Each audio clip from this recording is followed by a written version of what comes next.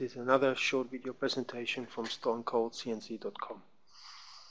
Um, on the screen you see the uh, CAM software WCAM2K.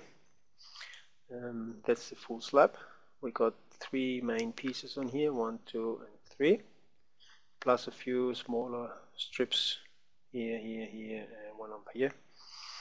And as you can see, all the points, uh, just a second, see all the arrows pointing from outside towards the slab which means all the cuts start from outside and going into the slab. So never start inside and cut outside always start outside and cut to the inside.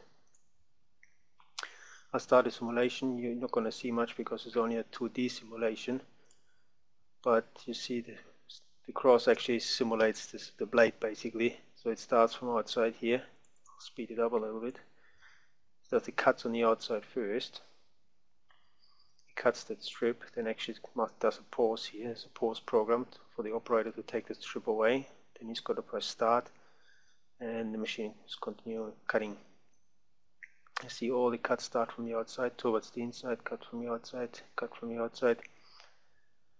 Basically that's what you have to do, not to break your slab or crack your slab as you can see in the picture above. Okay, thank you for watching.